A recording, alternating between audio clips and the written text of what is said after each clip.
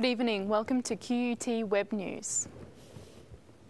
The flood inquiry was today told a lack of information caused people to panic when floodwaters hit parts of southeast Queensland.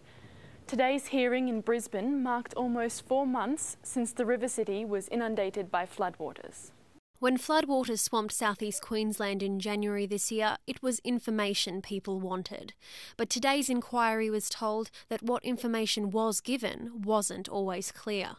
Archerfield business owner Michael Baker said if more accurate information had been provided, he could have avoided a huge financial loss. There was an economic cost of around $350,000. Uh, delays, we have not yet finished the repair work inside the, uh, the building. Despite making every preparation for the rising waters, he says he didn't anticipate his warehouse going under because his calculations had been based on what he says was inaccurate data on the Brisbane City Council's flood maps. If we had the right information on the levels at Oxley Creek, then we would have made other decisions that would have lessened the economic cost. North of Brisbane, and locals say a lack of information also panicked people when floodwaters rapidly isolated the communities of Caboolture and Morayfield. When you put out an information bulletin to say evacuate to higher ground, if you're in a low lying area with no follow up information, I don't know what else they expected to achieve. Although the dissemination of information in some areas posed a problem, January's floods saw the successful implementation of an alert system for extreme weather events delivered via SMS. 95% of them, when they receive a message from us, send it on to somebody else. But the role of the early warning system is just one component of the flood response the Commission is examining, with many more submissions to be heard. The inquiry represents an opportunity for everyday Queenslanders affected by the floods to voice their frustrations and suggestions for improvement. Michelle Thomas, QT News. Six years after a chemical fire in Narangba, north of Brisbane, Queensland Health said there are no significant effects from the event, but a small amount of a carcinogen was found in one air sample. According to a Queensland Health report released last night, Narangba residents have nothing to worry about.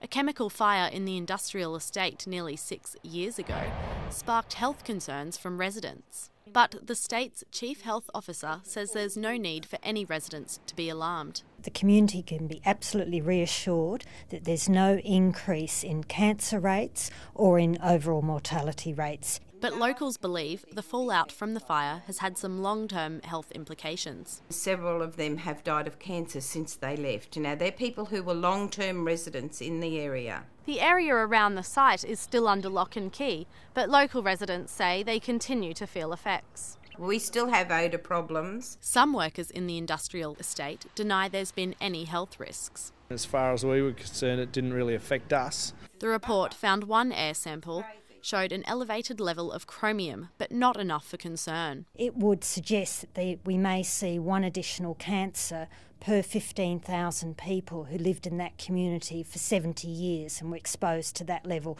every day. The Queensland Government says the issue has now been put to rest, but residents say they'll continue to monitor their environment for anything out of the ordinary. Samantha Seljak, QUT News. Transport on the Gold Coast is finally on track as preparation for the new light rail project gets underway. The government today announced GoldLinQ as the company to build a billion dollar transit network. It promises to be one of the largest public transport projects in the country. The Gold Coast Rapid Transit Network will stretch 13 kilometres between Southport and Broadbeach. The project will deliver over 6,000 jobs and inject $25 million into the local economy. The Premier says it will transform the face of the Gold Coast. When it's completed in 2014, it will give residents and visitors alike an easy, hassle free way to commute around this wonderful city. The government says the rapid growth on the Gold Coast means there's a huge need for this investment in infrastructure. And here on the Gold Coast, we'll have a city of more than 800,000 people.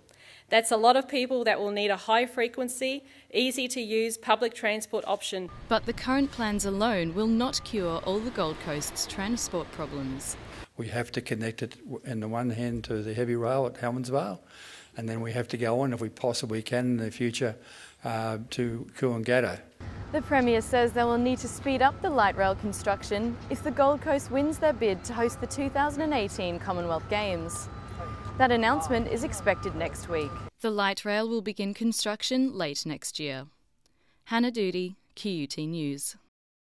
It's been hailed as a world first. While two Brisbane doctors prepare for surgery on a patient with bowel cancer, on the other side of the world, 3,000 surgeons in Rome were getting a first hand look at the procedure on their computer screens. Technology has always played a huge role in medical advancement. Now the internet has taken it a step further. Doctors Andrew Stevenson and David Clark pioneered colorectal keyhole surgery more than a decade ago, and now, for the first time, doctors from around the world can watch the procedure over the internet. Well, we couldn't do this sort of operation 20 years ago when we first started doing laparoscopic surgery because the equipment just wasn't good enough. The advanced state of the art equipment Connectivity and technology now available in Queensland hospitals has revolutionised the treatment of colorectal diseases. The live broadcast shows new techniques in keyhole surgery used for the treatment of rectal prolapse and rectal cancer. With more than 14,000 cases reported each year, Australia has the second highest rate of bowel cancer in the world. About 1 in 17 males have a risk of developing colorectal cancer during their lifetime. And that risk is slightly less for females, but that's about 1 in 24 patients. Um, so it's extremely common. What's not common is this new procedure. Only 10% of all cases are being treated with keyhole surgery. The current open surgery requires a large cut across the abdomen, which usually ends in a five to six day stay in hospital. Now, as a day case procedure, the smaller keyhole surgery eliminates many of these problems, allowing for a faster recovery and quicker return to work. The treatment that we're doing laparoscopically is the focus of a new uh, multinational randomised trial, which has been funded by the National Health and Medical Research Council. But with growing concerns over possible cuts to the federal budget, it's feared medical research will suffer. Well, the next step has been from laparoscopic onto robotics, which is certainly in its, in its infancy at the moment. Um, and the next will be to have small robots, which basically are placed inside the, the patient themselves. It seems that with a push of a button, anything's possible. Rihanna Bull, QT News. Queensland will play host to one of the most exciting and colourful forms of transport ever seen a specially commissioned artistic project was unveiled this morning and will embark on its maiden journey later tonight. Onlookers at Roma Street Station were in for a treat this morning as Australia's longest moving canvas made its first appearance.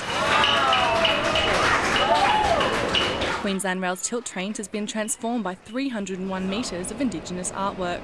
Commissioned nearly a year ago, a vinyl wrap of the work was stuck onto each carriage, and the finished product has impressed the creators. To see this 150 metres, it's like, whoa! this striking piece of mobile artwork is set to become one of Queensland's most recognisable tourism attractions. So I'm very pleased to put a whole new product on the tourist market and one that I think shows all of the best of what's good about Queensland. This train is the first of two, with work on the second expected to begin later this month. The moving canvas will travel through some of the state's most stunning locations, only fitting it ends and Cairns, home to some of the most exciting emerging artists. After seeing the project come to life, Judy Watson believes artists everywhere will be keen to let loose. I would say you'll get artists just taking over the environment and swallowing buildings next. Maybe, you know, there'll be more images on um, planes, ocean liners, who knows? Queenslanders will get their first look at the art in motion when the train pulls out tonight. Phoebe Parsons, QUT News. Time now for a look at the weather. And most parts of Queensland are starting to get a real winter feel. This is particularly so in western parts, with single figures being recorded overnight in both Ipswich and Toowoomba. From our special Brisbane based time lapse camera, we can see how the city woke to a clear sky that was soon covered by some light cloud, which built as the day progressed. But there is little likelihood of rain. Around the nation tomorrow, and Canberra is once again expecting a frosty morning, but fine and cool conditions are expected elsewhere.